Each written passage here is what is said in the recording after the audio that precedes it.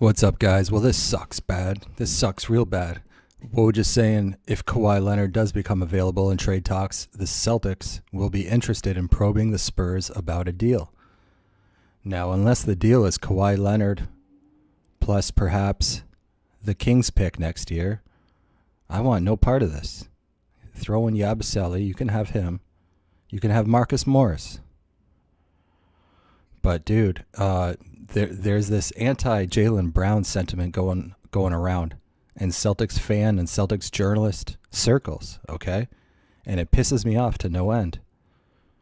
And uh, here's Woj again saying Indiana had little interest in trading Paul George to the Lakers. That'll be the same case for Spurs too. Boston gives Spurs best building blocks of assets. One of young forwards, likely Jaylen Brown, its own 18 19 protected Kings pick. And he's saying Lonzo to the Spurs, don't hold your breath. But, you know, like yesterday there was a Kevin O'Connor and Bill Simmons podcast or something like that. And they're they're talking about throwing around Jaylen Brown like he's just like he's nothing. And uh, you know, people love the Celtics, but they love to be right more. And these guys were simply wrong about Jaylen Brown. Okay, they thought he couldn't shoot. They thought that Kris Dunn or Buddy Hield would be a better better pick for the Celtics, right? And they said he couldn't shoot and that he he was going to be a downgrade from Avery Bradley. Meanwhile, he was better than Avery Bradley even as a rookie because of his size and defense and rebounding. And uh, and Jaylen Brown even shot 40% from the three point line when he was starting in place of Avery Bradley. Okay? And the Celtics played even better, and it was a 20 game sample size. And then this year, Jaylen Brown was supposed to be a total afterthought, still not ready, a downgrade, lol, from Avery freaking Bradley. Meanwhile, he's the biggest, strongest shooting guard in the league and one of the best defenders and a great 3 and D guy. What did he shoot this year? Like 39% from 3 in his second year? After all you bitches said he couldn't shoot. And he helps drag us into the game 7 of the Eastern Conference Finals, guys. He got hurt against the Bucks. He came back heroically against the 76ers in game 2, I believe, and helped us stomp on the 76ers in 5 games, gentleman's sweep averaging about what 18 19 points a game in the playoffs on an injured hammy still shooting the ball well and almost getting us to the finals but we come up ever so slightly short and all people can remember is that he had one bad game at the end possibly hindered by that hamstring that he was playing hurt through you know? And no one wants to give him any credit for being the player that he is because they were wrong about him from day one. Just like people who booed and freaked out about the Terry Rozier pick back in 2000 what 15 those people are so bitter. They were so bitter when when Terry Rozier was having all the success this year. Kyrie goes down having led the Celtics to an 8 and 10 record in his last 18 games Terry Rozier steps in and starts winning at a 75% rate or a 750 w- win percentage okay and brings us all the way to and then we went up 2-0 on the Cavs in the Eastern Conference Finals led by Terry Rozier.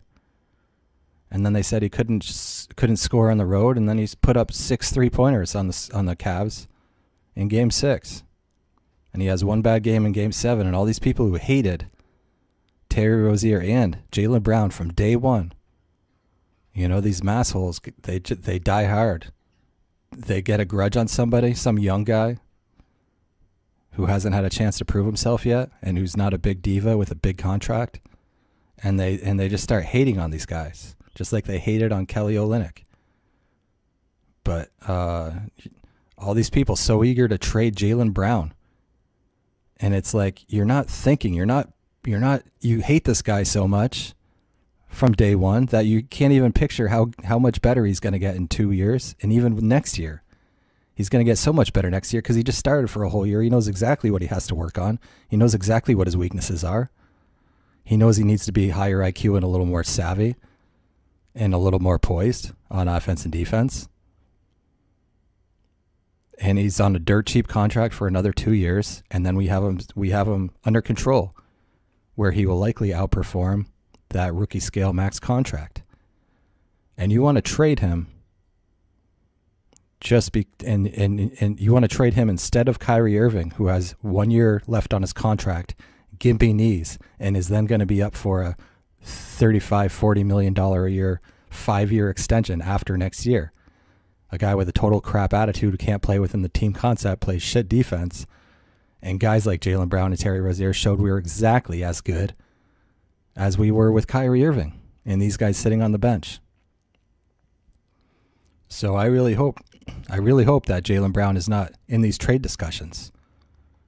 Even if Kawhi Leonard is is better or significantly better or slightly better, whatever it is next year, because Jaylen Brown's going to be even better than he was this year.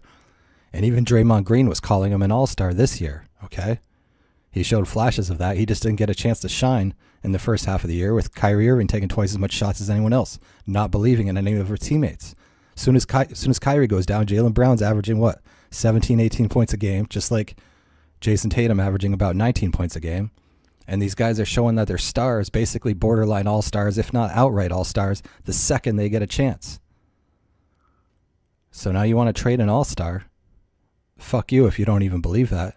Now you want to trade an all star for on a on a six seven million dollar a year contract for Kawhi Leonard to play this flaky weirdo, uh, toxic, selfish, you know, head case, mental case, who can't play hurt. Another Kyrie Irving. He's just like Kyrie Irving, actually. And you and he wants to go to the Knicks even. His two teams are the Knicks or the Lakers. Does that say winner to you? You guys are fucking losers. You want to you want to trade Jaylen Brown for for uh, and a Kings pick for Kawhi Leonard just to pay Kawhi Leonard 34 35 million dollars a year and then and then hope he resigns next year, just like Kyrie Irving, and then hopes for a one year freaking rental. This is Victor Oladipo all over again. We know who won that trade. Indiana won that trade. So it better not be Jaylen Brown in this uh, trade, and the and the Celtics fans better start giving Jaylen Brown some more respect. You know, the only reason you're not giving him respect is because you were fucking wrong about him, and you go out of your way every single time to diminish how good he is and how much better he's going to be next year and what a great value he is. Jaylen Brown for $7 million or Kawhi Leonard for $35 million? What do you think is the better value, guys? What do you think is the better value? Jaylen Brown plus $27 million in contract to be spent elsewhere, even on a big star? Or Kawhi Leonard himself, who doesn't play hurt, is mentally weak, is a weirdo, doesn't pass the ball, stopped playing defense last year, and a guy who wants to play for the Knicks. And you're going to alienate one of your building block cornerstones, franchise players. Guy just totally taken for granted. Pisses me off. All right, let me know what you think about Kawhi Leonard to the Celtics, guys. And then what are you going to do? You're not going to have room for all these guys. You know, you're going to you're going to pay Kawhi max and you're going to pay Kyrie Leonard, Kyrie Irving max, and Gordon Hayward and Al Horford. I'd rather just roll with uh, Gordon Hayward and Al Horford. We don't need those fuckers. We don't need those injury prone, injury prone, antisocial weirdos who are controlled by their father and uncle working together. And together, that combined power of Ky- Kyrie Irving and Kawhi Leonard, they would have a total uh, iron grip on the Celtics franchise. And they would say, hey, you do exactly this. You play exactly this way. You give these guys exactly this many, many shots, or they're both going to sit out injured. You don't think they'll do it?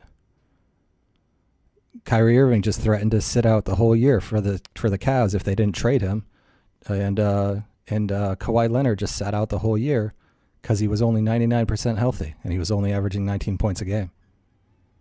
Neither of these guys showed up to support their teammates in the in the playoffs, and that's that's going to be your building block because they have star power. That's that's worse than that's worse than uh, getting LeBron. That's way worse than getting LeBron. That's a loser mentality. That's a Knicks mentality. That's a perennially mediocre star fucker mentality. That's not Celtics mentality, guys. Let me know what you think. I'll see you soon. Peace.